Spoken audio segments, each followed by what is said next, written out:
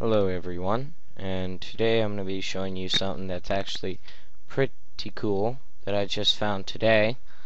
It's how to show your iPod, iPad, iPhone screen, whatever you wanted to show.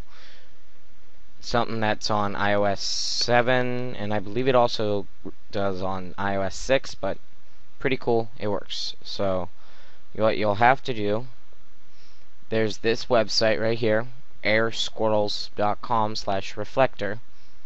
It works great with iOS 7 according to it, with the iPhone 5C and 5S. I have the iPod 5th generation. It works just fine. Here it's showing you just kind of how it works. But, um, you hit uh, try reflector. Then you select if you're a Mac or if you're Windows. 32 or 64 as I've shown a million times before I'm going to show again. Start button right click properties. You can see if you have a 64 or 32 bit operating system. Mine 64 now you'd hit download and blah blah blah let it go through. I'm not because I already have it downloaded but you'll get the file. Just follow this it's basically pretty self-explanatory. And um, you'll probably get a um, desktop icon, but you'll be fine. Uh, and then, when you uh, open it and try to run it, you'll have to go through this.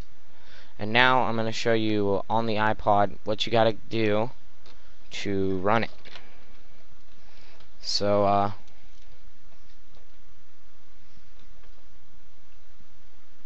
Come on up. Here, you know what? I'm going to close this and open up a new one. Um, give me one second.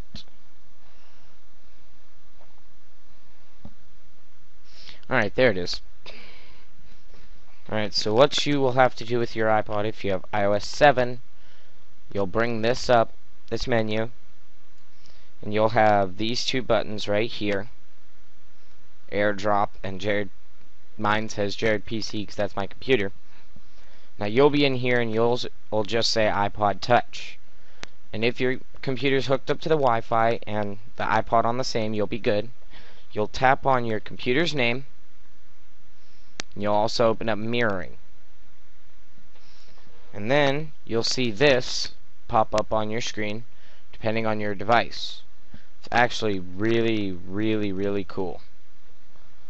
Now, um, I'm going to pause this because I don't want you to see my password. That's my business. I will be right back. Now, as you can see, I've got past my password.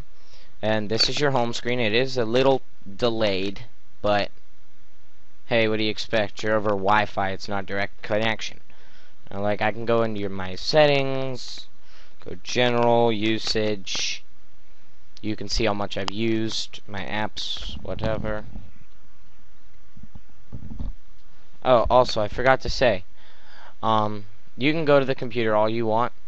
Try clicking and dragging, all you'll do is move that. You can't control this with the computer. You have to control the iPod, iPad, whatever you have with the device.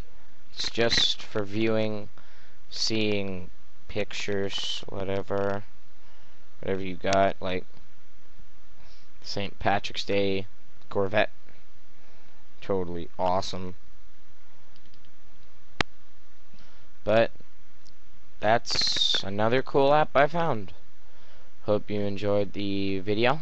And um have fun. Do whatever you want. Bye bye.